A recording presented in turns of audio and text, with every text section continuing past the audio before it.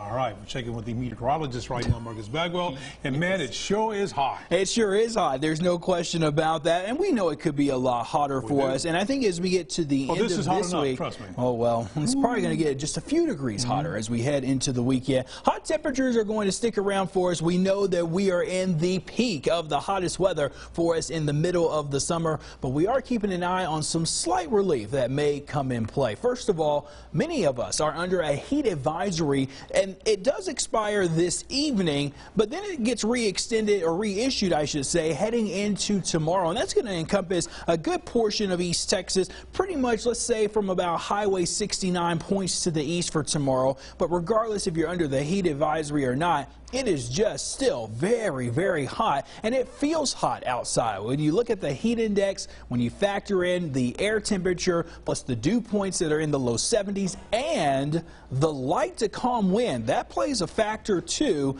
You get a heat index anywhere between about 100 to 108 right now. This looks to be fairly common that we've had throughout the area today, and that makes it very humid to be outside. I want to show you another graphic too. This is going to be a look at the road temperatures. So the pavement temperature is just an indication of how hot that it is. Our four-legged friends, yeah, they're not going to enjoy being outside in this. It is feeling like near 133 on those road temperatures right now. We usually show you this into in the winter time.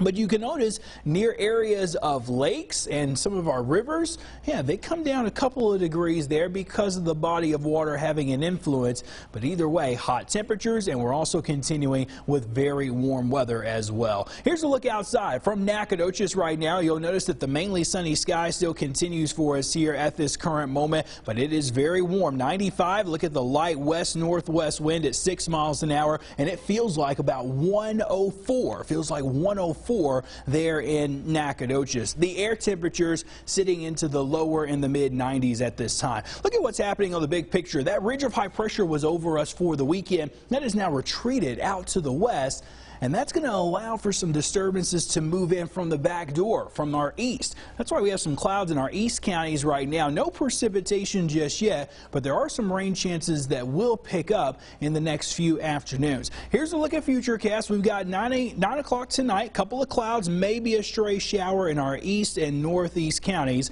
and then heading toward early tomorrow morning, clouds begin to build, and notice how Futurecast will show some of these hit and miss thunderstorms. This does not look to be widespread, about a 20 to a 30 percent rain probability, and they'll come to an end as we lose the daytime heating. But then watch on Wednesday, this east flow in the atmosphere allowing for more storms to develop. And again, Wednesday afternoon, I think our coverage may pick up just a bit more, and this could provide some temporary, temporary heat relief in the next couple of days. So mid 90s tomorrow, lower to mid 90s on Wednesday, and then starting Thursday, will heat back up. On our way to hotter temperatures by the weekend, if we keep drying out, we could be very close to the triple digits by Friday, Saturday, or Sunday.